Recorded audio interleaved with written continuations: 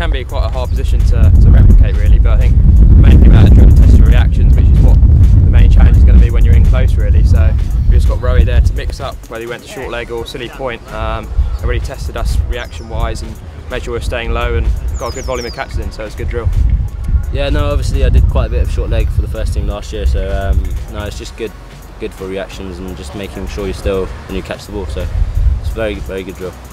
It's a good chance to get in the game, really. Um, obviously, it can be quite intimidating when the bats are sweeping and things, but I think if you've got a good spinner on bowling, um, you feel like you're in the game on a spinning wicket. It can be good fun and feel you contribute to the team by, by taking good catches in there. Well, yeah, we're one of the youngest, so I think kind of got to make that position our own.